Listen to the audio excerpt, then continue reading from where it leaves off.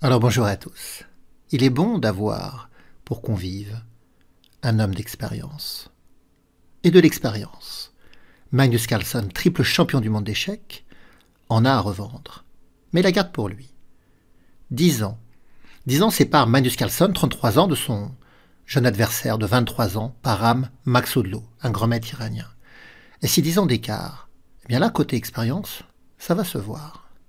Alors le grand maître iranien ouvre avec le pion dame, il joue des 4. Carlsen répond par la symétrie des 5, et C4 est joué, ce qu'on appelle le gambit-dame. Les blancs invitent le pion noir D5 à se détourner du centre par la prise. Mais le pion noir en allant en C4 serait facilement récupérable pour les blancs. On pourrait jouer dame A4 qui permet de faire échec fourchette, vous connaissez, ou même d'avancer le pion E2 au centre en E3 ou en E4 pour que le fou récupère. Il y a d'autres coups également possibles. Mais bref, le pion C4 est trop facilement récupérable pour que ça soit dangereux pour les blancs. Donc, euh, Carlsen, il veut garder sa tête de pont au centre. Et là, on a deux coups pour euh, garder un pion au centre, c'est de jouer C6 ou E6. C6, ça s'appelle euh, la variante slave, alors que E6, c'est la variante orthodoxe. Et c'est donc ce que Carlsen joue. Cavalier C3, les blancs appuient sur D5, mais il ne faut pas oublier que le cavalier C3 peut appuyer aussi la poussée E4, la conquête du centre. C'est pour ça que les noirs jouent cavalier F6, protègent des 5 et doublent le contrôle, bien sûr, de la case E4. Et là, les blancs prennent. Ils initient l'échange en D5. Alors les noirs reprennent du pion, ça libère le fou, et ça garde le contrôle de la case E4. Mais cette structure de pion vient de se modifier. On appelle cette structure de pion la structure Carlsbad. Alors bien sûr, je sais qu'il y a des joueurs euh, dans la communauté qui ne sont pas familiarisés à tous ces noms. J'ai parlé de Gambidam, de Varanslav, orthodoxe, et maintenant de structure Carlsbad. Mais les noms, c'est pas ce qu'il y a de plus important à savoir aux échecs. Ce qui est important, c'est de comprendre ce qui se passe sur l'échiquier. Et que s'est-il passé par cet échange de pions, par cette modification structurelle? Eh bien, les blancs ont ouvert la colonne semi-verte C en leur faveur, et les noirs ont la colonne E semi-ouverte en leur faveur. Donc ce sont des colonnes où chacun pourra exercer des pressions avec leurs pièces lourdes, tour ou dame. C'est de l'espace qu'on pourra avoir sur des colonnes semi-ouvertes. Alors là, les blancs, ils vont jouer fou G5. On peut les comprendre. On n'a pas envie de jouer E3 en laissant le fou C enfermé. Donc on le met en G5, et ça crée tout de suite une menace, celle de prendre le cavalier. Parce que si le pion reprend, eh bien, il y a une déstructuration euh, à l'aile roi, avec des pions doublés, un pion isolé. Et si c'est la dame qui reprend, alors le pion D5 ne serait plus suffisamment défendu. Donc Carlsen, bien sûr, il va parer à cette menace en jouant fou E7. Maintenant, en cas de prise, on est capable de reprendre du fou. Bon, les blancs jouent E3. Et là, Carlsen questionne le fou. Il joue H6. Il, il demande à Param s'il veut garder sa paire de fous, auquel cas le fou devra reculer en H4 ou F4, ou s'il veut la céder, échanger le fou contre le cavalier.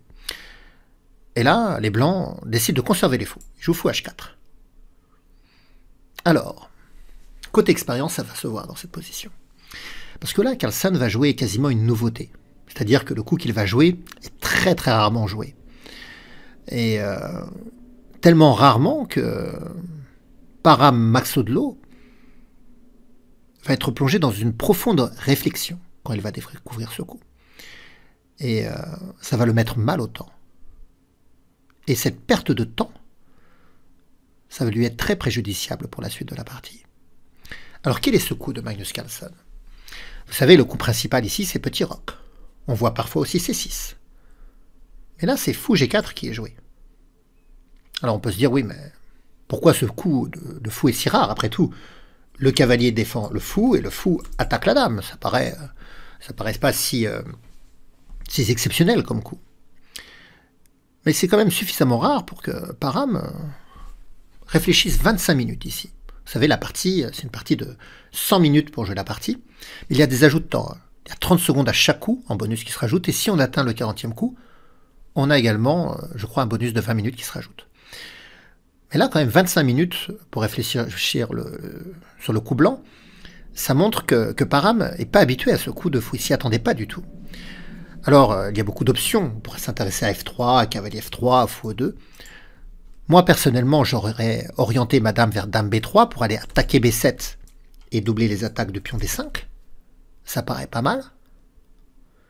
Mais, en fin de compte, euh, après analyse, eh bien, c'est pas terrible du tout, finalement. Et Param Maxolo va jouer plutôt dame A4 échec. Mais regardons pourquoi mon coup dame B3, ça marcherait pas. Pourtant, ça, enfin, ça marcherait pas. C'est pas si bien pour les blancs. Ils attaquent B7, ils attaquent deux fois le pion D5. Mais les noirs pourraient jouer cavalier D7, c'est-à-dire qu'ils défendent aucun des deux pions. Ou c'est une différence indirecte. Par exemple, si la dame prend le pion B7, il y aurait tour B8. Et même si la dame peut prendre le pion A7, les noirs se vengent sur le pion B2. Et c'est une position très dangereuse pour les blancs d'ailleurs. Pourrait menacer un coup comme fou B4 tout de suite avec le clouage du cavalier. La tour euh, s'est incrustée dans le camp blanc, le fou contrôle également pas mal de cases. Le roi est capable de roquer et de se mettre à l'abri euh, très vite. Donc les noirs euh, ont du développement et de l'attaque. C'est trop dangereux ici cette position pour, les blancs.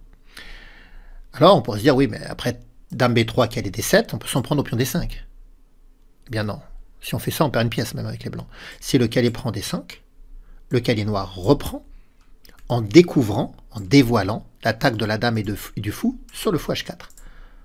Donc après, cavalier prend cavalier, si la dame blanche prend, les noirs prennent le fou, ils auraient gagné une pièce. Et si le fou prend au préalable le fou en E7, c'est le cavalier qui va reprendre, et les noirs ont bien un cavalier de plus. Donc finalement, mon coup de dame B3 fait pchit. C'est pas un bon coup. Et dame A4 a été joué. Vous allez me dire, oui, mais dame A4, c'est facile pour parer l'échec. Les noirs jouent C6, c'est ce que fait Carlsen. On va comprendre euh, pourquoi il a joué dame à 4. Il voulait garder l'initiative, c'est-à-dire forcer le coup C6, que les noirs puissent pas se développer autrement, et, euh, et développer très vite le fou en D3. L'idée de Param, ça va être vraiment de s'en prendre au fou G4, d'essayer d'exploiter ce positionnement atypique du fou en G4. Vous allez voir, Carlsen a joué petit roc, H3 fois H5. Et pour exploiter au maximum le positionnement original de ce fou, eh bien, Param va réfléchir encore près de 25 minutes ici. Une deuxième fois. Donc il se met très très mal au temps pour la suite de la partie. Hein. Et il va jouer Dame C2. Alors que sa dame était venue en A4, il va revenir en C2. Mais si on le comprend, là ce que les blancs veulent faire, c'est certainement faire un grand roc. Et envoyer le pion G2 en G4 pour repousser le fou, jouer G5 après pour attaquer le cavalier, le pion, des choses comme ça. Mais avant de jouer G4, Dame C2 va rendre le coup G4 plus percutant, parce que lorsque le fou viendra en G6, le fou plus la dame pourront prendre le fou G6. C'est-à-dire si les blancs sont capables de jouer G4, fou G6, fou prend, pion prend, dame reprend, les blancs gagnent un pion et s'approchent du roc noir. Oui, mais l'expérience de Carlson, la préparation de Carlson. Certainement qu'il avait déjà dû s'intéresser à cette position avant le tournoi. Parce que là, sa réaction est très précise. Vous comprenez, euh, quand vous savez que vous allez subir une attaque, une attaque sur votre roi, c'est le cas, là, l'évolution naturelle des blancs, avec G4, G5 qui va arriver, euh, la paire de fous ici qui pointe, la possibilité de faire grand rock, de développer le cavalier, peut-être mettre les tours derrière l'assaut de pion qui va arriver. On sent que les blancs ont matière à développer une attaque contre le roi noir. Donc comment on fait pour réagir face à ça? Mon ancien entraîneur, Yossif Dorfman, le grand maître Yossif Dorfman, m'avait expliqué que lorsqu'on comprenait qu'on allait subir une attaque, il fallait chercher des coups dynamiques. Le dynamisme aux échecs, c'est la modification de la position, la modification du rapport matériel ou de la structure de pion. C'est-à-dire qu'il faut être capable soit de modifier les pièces qui sont présentes sur l'échiquier, soit de modifier la structure de pion, notamment la structure de pion centrale. Et euh, c'est ce qui va attirer l'œil de Carlson ici, la modification de la structure de pion centrale. Parce que le roi blanc traîne au centre. Mais vous allez me dire, oui, mais la colonne, elle est semi-ouverte. Elle n'est pas ouverte. Il y a le pion en E3. Alors, comment faire pour modifier cette structure de pion centrale Carlsen, il va jouer C5. Hmm, C5. Alors, euh, Param Maxolo, il va pas se faire détourner. Il va jouer G4. Donc on va le voir dans la partie. Mais regardons ce qui se serait passé, peut-être, sur la prise en C5. Certainement que Carson n'aurait pas repris du fou.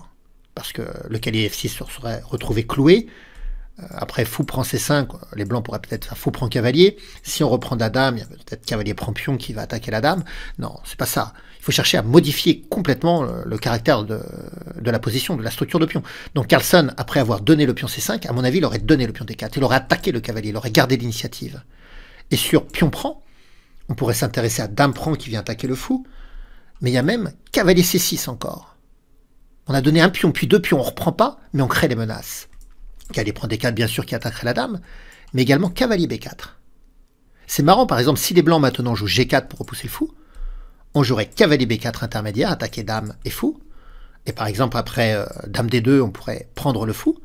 Et maintenant, jouer fou G6. La dame blanche est repoussée. Vous allez me dire, oui, d'accord, ça a permis de solutionner le problème du fou de case blanche. Mais on a donné deux pions aux blancs. Oui, mais les pions blancs n'ont pas beaucoup de valeur. En tout cas, ils sont exposés ici parce que il y a un problème euh, pour les blancs. Leur dame est attaquée. Elle doit conserver la, défense du pion D4, pardon. Et il peut y avoir également du jeu sur la colonne E, puisque le roi traîne au centre et que la colonne E est complètement ouverte. Par exemple, imaginons que la dame vienne en D2. On pourrait s'intéresser au coup cavalier E4. On vient attaquer le fou on vient attaquer la dame. voyez? Et sur, par exemple, fou prend, on peut reprendre de la dame, mettre un vis-à-vis dame-roi. On attaque toujours la dame. Et d'accord, les blancs ont deux pions de plus, mais ils ont tous les problèmes dans la position. Cette position devient très très dangereuse pour, euh, pour eux, en réalité. Surtout que les tours sont en liaison. Donc le roi blanc n'a pas d'abri, la dame est attaquée, les tours sont en liaison, elles peuvent très bien et très vite venir sur les colonnes E et D. Le fou est bien placé. Ah, les blancs, voilà, la dame attaquée, le roi caparoqué, les tours qui jouent pas, le cavalier non plus, la seule pièce, le cavalier C3, peut être amené à se faire éliminer. Voilà, le... C'est trop dangereux cette position pour les blancs. Donc, après C5, euh, Param réfléchit et se rend compte qu'il ne faut pas se faire détourner par la présence C5. Donc il joue G4. Mais Carson prend en D4. Il dit c'est pièce contre pièce. Tu prends mon fou, je prends ton cavalier. Param y reprend. Et maintenant, Carlson joue fou G6. Alors les blancs prennent, pion prend, dame reprend, ils ont bien gagné le pion. Oui, mais la colonne E, c'est ouverte. La colonne F, elle est également semi-ouverte. Et là, l'heure de la contre-attaque a sonné. Que joueriez-vous d'ailleurs si vous étiez les noirs? Allez-vous trouver le coup du triple champion du monde d'échecs dans cette position? Vous pouvez mettre la vidéo sur pause pour avoir le temps nécessaire à votre réflexion. A tout de suite. Alors, est-ce que vous avez trouvé le coup du champion? Ici, Carlsen, il va jouer cavalier prend G4. Il joue sur la découverte et l'attaque du fou pour récupérer son pion. Bah, déjà, il l'a récupéré, il vient de prendre un pion. Donc si les blancs prennent le en G4, ils perdront le fou en H4. Et en plus, si les noirs mettent un fou en H4, ça attaquera F2 avec l'aide de la tour. Hein. Par exemple, si les blancs prennent ici, on reprend, la dame protège le fou, et on attaque en F2 par exemple. Alors, euh, on pourrait se dire, oui, mais les blancs peuvent prendre en intermédiaire le fou. Mais c'est là toute la subtilité d'avoir ouvert complètement la colonne. C'est que la dame pourrait prendre sur échec, et donc le cavalier ne se fait pas attraper. Les blancs doivent régler le problème de, de l'échec sur le roi, et le cavalier, après, il peut jouer contre le pion en F2. Ça se retourne complètement, cette position. Donc, euh, cavalier prend G4 a été joué par Carlsen, bien joué. Alors, les blancs jouent dame 6 échec. Donc, Tour F7 a été joué. Et maintenant, ils reprennent. Fou proche 4. Et les blancs jouent cavalier F3 pour parer à la menace sur F2.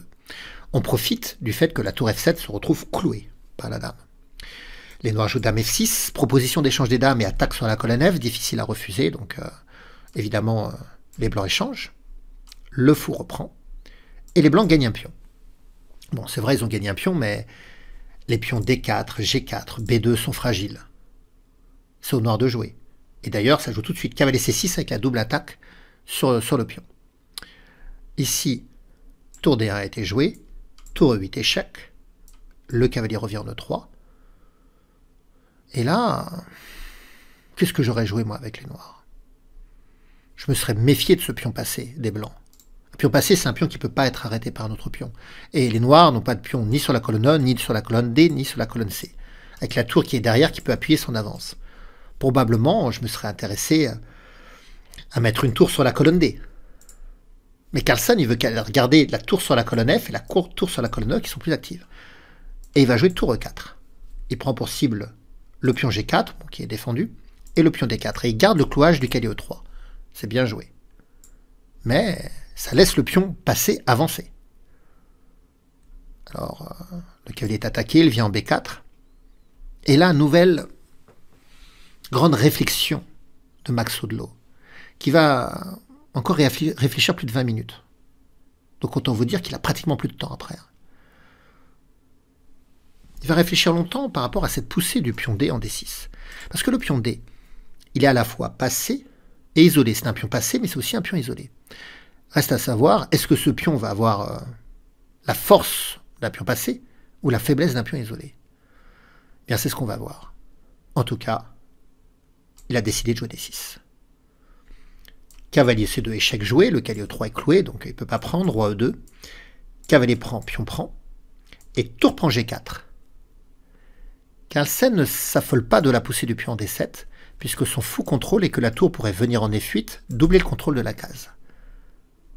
Alors, euh, para Max Odlo joue tour D5.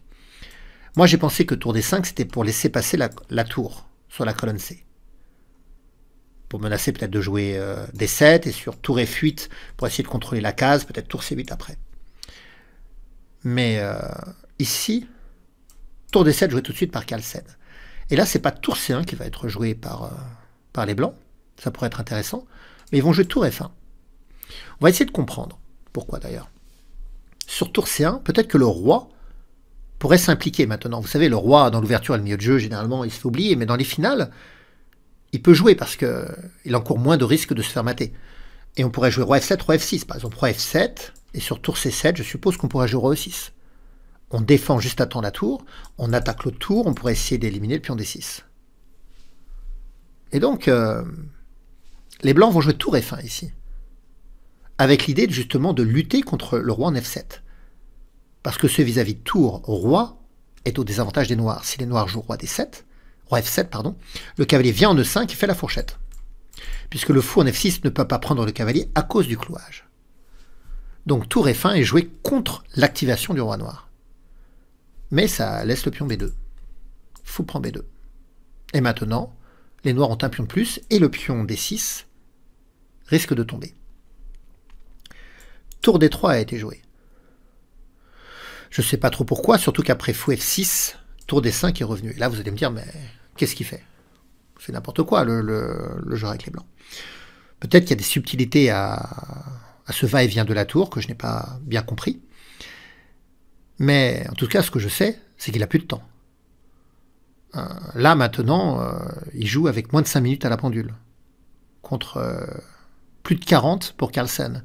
Et d'ailleurs, après le prochain coup blanc, c'est-à-dire que la tour B4 a été jouée, il réfléchit encore, il joue tour D1, et maintenant il a plus que 30 secondes.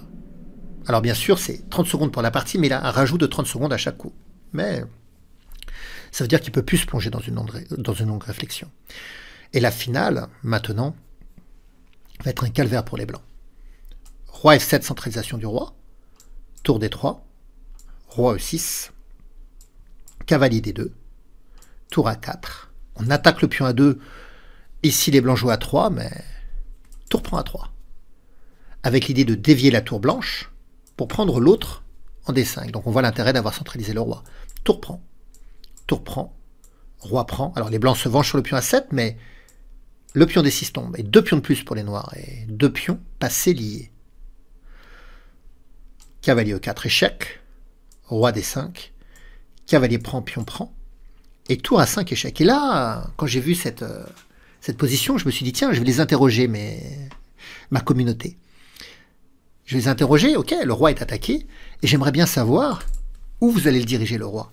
Est-ce que vous allez le diriger dans la bonne direction, enfin dans la direction de, de Carlsen? Alors je vous invite à mettre la vidéo sur pause pour savoir euh, ce que vous joueriez avec votre roi. Quelle direction prendre? À tout de suite. Alors, vous seriez où?